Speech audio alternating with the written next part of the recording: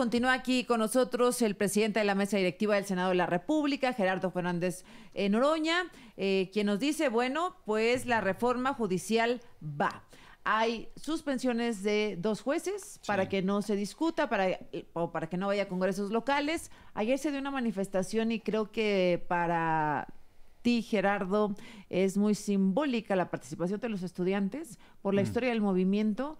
Ayer los estudiantes se manifestaron en contra de la reforma, más que todo, más que en contra de la reforma, a favor de que los escuchen. ¿Qué dices? Bueno, lo que van a decir ya lo oímos, ya lo oímos, que no se acabe con la carrera. Fíjate, yo, a mí me sorprende que estudiantes y abogados eh, regateen el artículo 39 constitucional. Yo no soy abogado, soy sociólogo y el 39 es clarísimo. La soberanía radica en el pueblo y todas las instituciones dimanan de este. Inclusive del derecho a la rebelión. Dice que el pueblo tiene el derecho inalienable a cambiar su forma de gobierno en cualquier momento. Entonces, si todo dimana de este, yo les decía, irónico como soy, ahora en el debate en la Comisión de Puntos Constitucionales, le decía a la oposición, hagan una reforma a la Constitución que diga todas las instituciones dimanan del pueblo menos el Poder Judicial. Pues eso es absurdo. O sea, hoy dicen, es que no queremos que se politice. Hoy quien está en la presidencia propone a los ministros de la Corte y los deciden los partidos eh, representados en el Senado de la República. O sea, están contradiciéndose de manera eh, absoluta.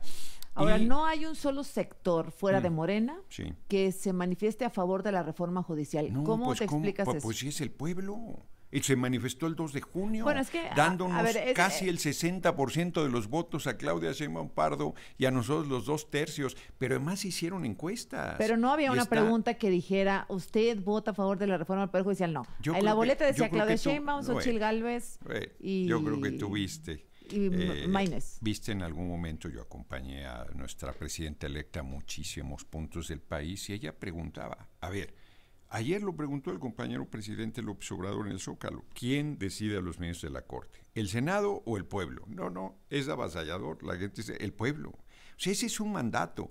Yo hago mis eh, eh, videocharlas de 6 a 7 todos los días, los 365 días del año.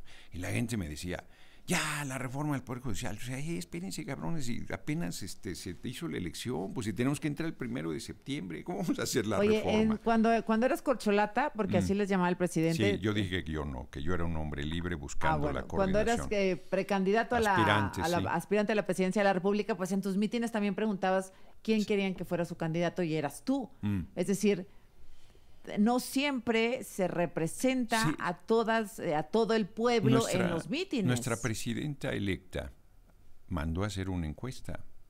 El 90% de la gente está de acuerdo en que se elijan las personas juzgadoras.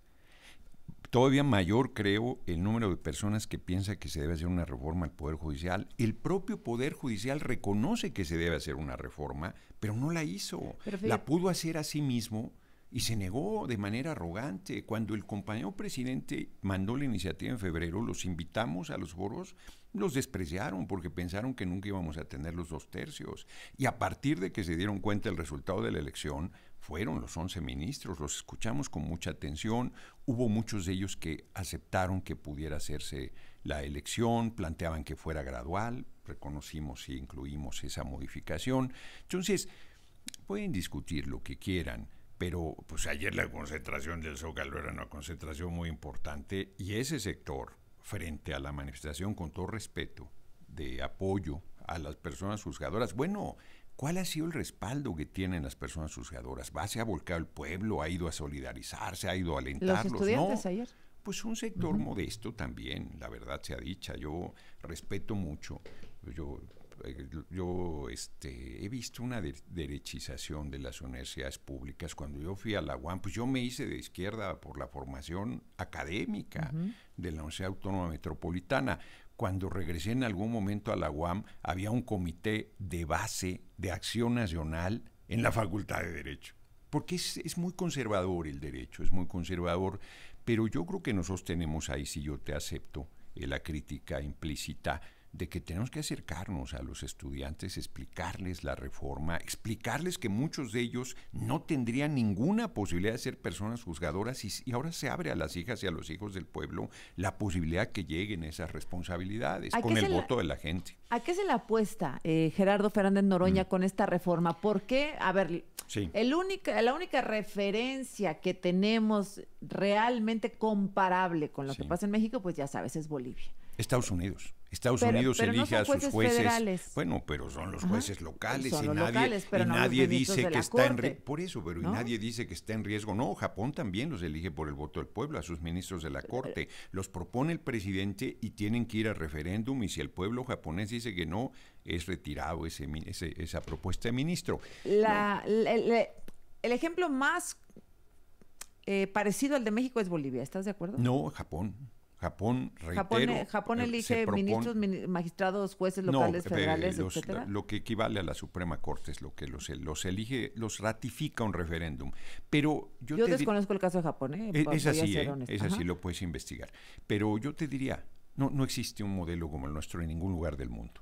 En ningún lugar del mundo es una revolución lo que estamos planteando. Que todas las personas juzgadoras sean elegidas por el voto universal, secreto y directo es algo único. Va a ser aquí y van a venir a ver nuestro modelo después. Porque yo insisto, pues si el pueblo paga los salarios de las personas juzgadoras, ¿por qué no los va a elegir? Pues nada más faltaba. Pero además lo, lo, establece el artículo 39 constitucional. Pero además ellos dicen, todo lo que dicen que va a suceder es lo que hoy sucede. Poder Judicial está corrompido. Yo no digo que todos los jueces, mujeres y hombres que son personas juzgadas sean corruptas, no. Lo que digo es que el Poder Judicial está corrompido. Bueno, lo que acaban de hacer estos dos jueces, de decir que el Poder Legislativo no puede legislar y hacer una reforma constitucional, pues si es el constituyente permanente, ¿dónde estudiaron derecho esas personas juzgadoras? A ver, quiero, quiero hacerte... Eh, dos preguntas en una, pues. ¿Dónde estamos y a dónde vamos? Bien. Eh, te digo por qué. ¿Qué, qué, escucha? ¿Qué, ¿Qué, leía? ¿Qué escucho? ¿Estamos o en una dictadura ya, dicen mm. algunos, o vamos a hacer una dictadura, eh, pero a pasos agigantados, mm. Venezuela, etcétera? ¿Por qué? Porque ustedes tienen la mayoría absoluta, total en la mm. Cámara de Senadores, en la Cámara de Diputados, no necesitan ni voltear a ver a la oposición. Ayer decía mi compañera este, reportera Maru Rojas, pues se portaron de cierta forma prepotentes la mayoría ante la minoría de la oposición.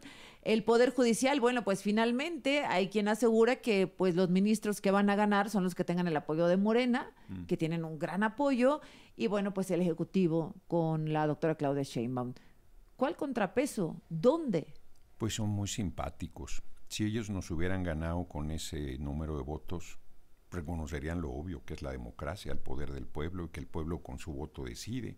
Dictadura y a unos metros de donde estaba la concentración del Zócalo estaban protestando a favor de la reforma al Poder Judicial. No se les toca un cabello. Como lo dijo el compañero presidente López Obrador ayer, no ha reprimido una sola vez en seis años.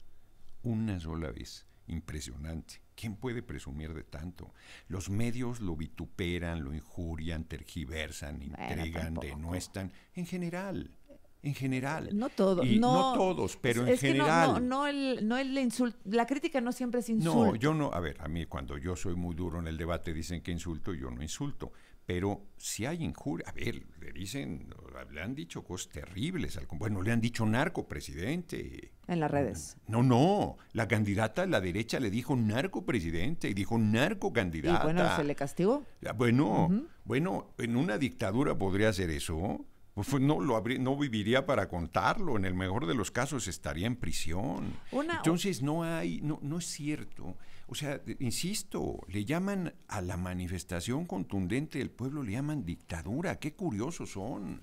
bueno, entonces, ¿qué sistema debemos tener? Debemos tener un sistema donde le digamos al pueblo, oigan, apoyan a quien, a quien ustedes, con quien ustedes simpaticen, pero no tanto, ¿eh? Dejen que la oposición pueda seguirles obstaculizando las reformas constitucionales, porque con el nombre de moratoria constitucional bloquearon toda posibilidad. No se dan cuenta que con su actuar nos han fortalecido no quieren reconocer. A ver, yo les dije, cuando el PRI y el PAN fueron juntos, yo dije, les voy a poner un monumento, pero como la elección intermedia fue en plena pandemia, sí nos afectó.